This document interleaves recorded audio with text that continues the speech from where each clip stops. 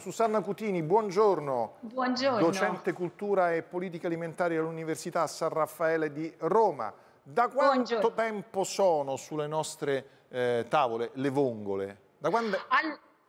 Le vongole, le vongole, io vi faccio vedere questo è uno strumento tanto amato dai bambini adesso, oh perché quando vanno al mare con i nonni la mattina presto che fanno le passeggiate per raccogliere le conchiglie e questo retino viene riempito, io l'ho già riempito stamattina di vongole e era uno strumento già che veniva usato ovviamente in un modo molto arcaico, era costruito in una maniera molto differente da queste, già in epoca antico-romana. Quindi eh, raccogliere vongole, portarle poi eh, in tavola è un metodo antichissimo e di conseguenza ci accompagna perché questi frutti di mare questi, eh, sono veramente unici nella loro semplicità, ma che presenti da sempre perché l'uomo, si sa, nasce anche pescatore.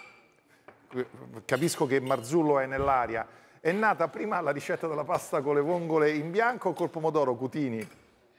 Senz'altro è nata quella in bianco, perché fondamentalmente il pomodoro accede nella cucina a fine 800, ma c'è un elemento anche da mettere in evidenza, nasce nelle aree di mare, ma nasce in quei luoghi dove la pasta alimentare ha fatto breccia prima, quindi io penso il suo utilizzo, penso alla zona di Napoli, penso alla zona di Genova, penso alla Sicilia, dove l'utilizzo della pasta e la produzione della pasta è stata veramente veramente un unicum. Pensiamo anche a Gragnano, voglio dire che è conosciuta in tutto il Orca. mondo per la produzione di pasta, no? di semola di grano duro. Esatto. Voi a quale scuola di pensiero appartenete? Chiedo anche alla Cutini. Che prima sgusciate tutte quante le vongole e poi mangiate gli spaghetti che nel frattempo si sono freddati oppure mangiate gli spaghetti e contemporaneamente la vongola? Benassi.